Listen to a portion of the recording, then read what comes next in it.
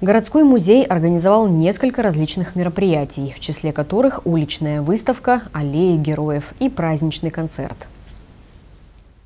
С 10 часов утра 9 мая музей Бердска принимал посетителей. Желающим были предложены выставки и экспозиции, посвященные вкладу берчан в победу. Рядом на ступенях музея расположилась уличная выставка «Герои Бердска». Здесь размещены фотографии и информация о героях Советского Союза Дмитрии Пастухове и Михаиле Рогачеве, кавалерах трех степеней Ордена Славы Александры Дидигурове и Дмитрии Стрипкове, о героях социалистического труда, участниках Великой Отечественной войны Льве Максимове и Александре Шкулове.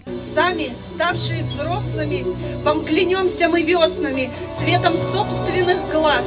И огнем над метелями, хлебом и колыбелями быть достойными вас.